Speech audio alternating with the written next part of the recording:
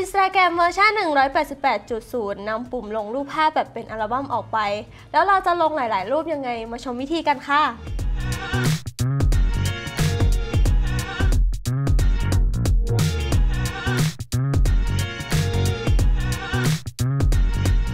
สวัสดีค่ะ นุกวีไอโมดค่ะ ช่วงนี้นะคะ สาวๆ หลายๆ คนนะคะ ก็เจอปัญหาเวลาจะลงรูปใน Instagram แบบเป็นอัลบั้มนะคะ แต่ไอคอนลงรูปแบบเป็นอัลบั้มหายไป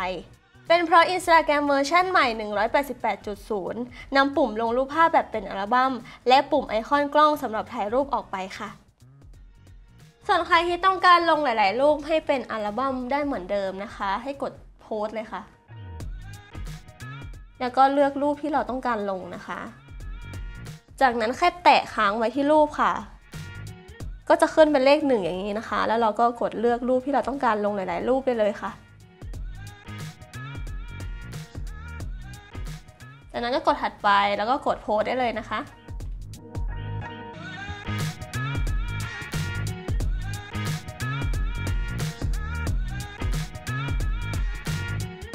ส่วนไอคอนกล้องนะคะที่เราอยากจะถ่ายรูปแล้วลงทันที ไม่ทราบว่า Instagram จะนำกลับมาไหม ถ้าหากอัปเดตแล้วทีมงานจะมาแจ้งให้ทราบนะคะ